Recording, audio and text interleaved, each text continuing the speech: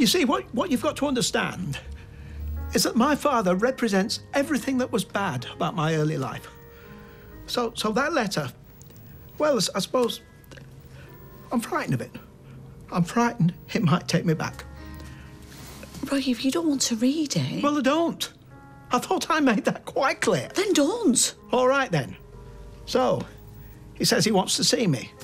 You've told me that much. Well then, is it better for the both of us, him and me? Is it better if I, I don't reply? Or better if I do reply and say no?